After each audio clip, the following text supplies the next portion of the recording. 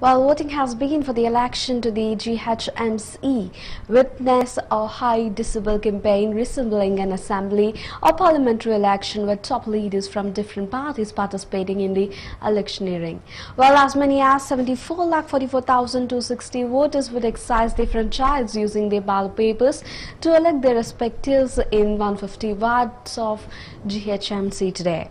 Well, according to unofficial data, where it says that polling has begun at 7 a.m. and will come to an end at 6 p.m. today and the total number of contesting candidates are all about 1122 uh, candidates from all over 150 wards of the GHMC.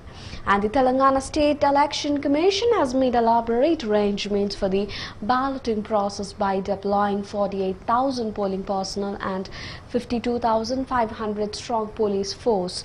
And the commission had decided to conduct the election with ballot papers after obtaining the views of major political parties and the health department in the view of COVID-19 and taking into consideration where the various relevant issues says earlier. And the ESA has also conducted a campaign featuring some film personalities to motivate the electorate to vote. Observing all that arrangements, including those in the view of COVID-19 pandemic, uh, the commissioner Parthasarathi appealed to the voters to exercise their franchise.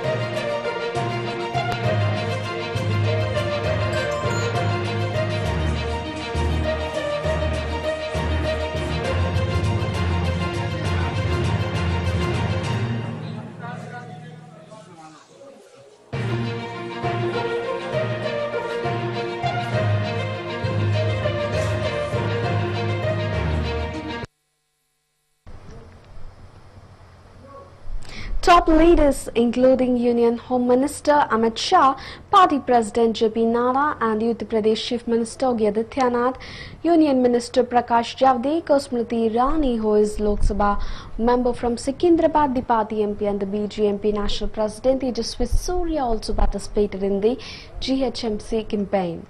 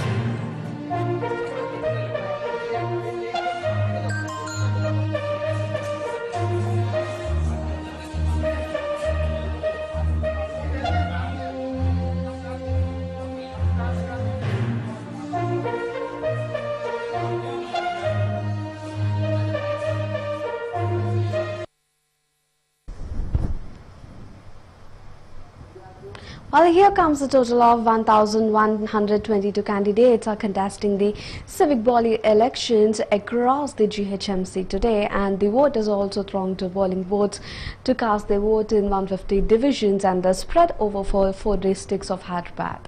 Well, in the last elections in the year 2016, the ruling TRS had won 99 seats whereas AIMIM had won 44 and the BJP has won 4 and the Congress won 2 and the Telugu Desam Party managed to get only a seat.